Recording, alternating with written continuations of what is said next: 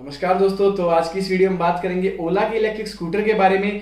ये जो scooter recently देखा गया है टेस्ट करता हुआ रोड पे, और इसको टेस्ट लेने वाले और कोई नहीं है, बल्कि खुद इनके सीईओ है। ये काफ़ी अच्छे मतलब साइन दर्शाता है कि, ये दिखाता है कि कंपनी जो है, इस प्रोजेक्ट को लेकर कितनी ज़्यादा सीरियस है, और ये प्रोजेक्ट इनके लिए कितना इंपॉर्टेंट है।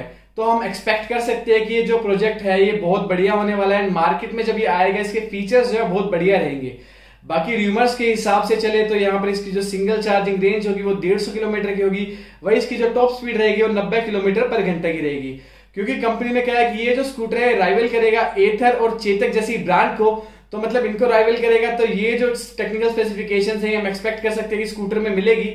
बाकी फ़र्स्ट लुक स्कूटर का देखे, जो मतलब इसकी मतलब टेस्ट राइड में दिख रहा हो तो बिल्कुल ज़बरदस्त दिख रहा है। इसका लुक मुझे पहले ही पसंद था। बट ये जो वीडियो आई है, इसमें इसका लुक जो है, ज़बरदस्त लग ही रहा है। और बाकी इसका मतलब जो है टेस्टिंग फ़ेज़ पे स्कूटर चल रहा है वीडियो को देख के पता तो चल ही रहा है। तो हम एक्सपेक्ट कर सकते हैं कि मतलब 2021 के एंड तक ये स्कूटर जो है मार्केट में देखने को मिलेगा। एंड मैं तो भाई स्कूटर के लेके बहुत ही ज़्यादा एक्साइटेड हूँ कि कब आएगा मार्केट में और हमें पता चले इसकी टेक्निकल स्पेसिफिकेशंस और मतलब हमें इन रियलिटी में भी इसको जो है देखने को जल्दी से जल्दी मिले। बाकी दोस्तों, आपके क्या विचार है स्कूटर के बारे में? क्या लगता है? आपको मुझे कमेंट सेक्शन में ज़रूर बताना। बाकी दोस्तों, फ़िलहाल की जानकारी, इतनी लाइक करें चैनल को सब्सक्राइब करें वीडियो को शेयर करना ना भूले। धन्यवाद।